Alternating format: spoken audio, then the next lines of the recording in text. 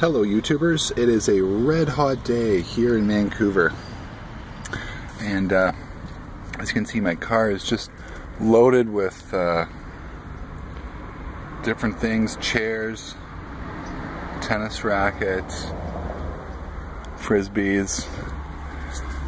We're, we're ready for the summertime but uh, God is it ever hot.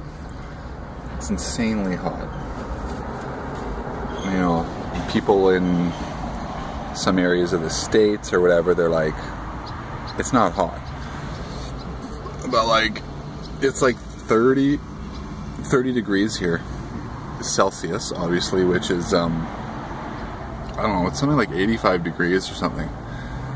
Anyway, I'm gonna head to the beach, gonna head to the lake uh, this weekend, uh, so I'll try to take some, uh, some YouTube video for you.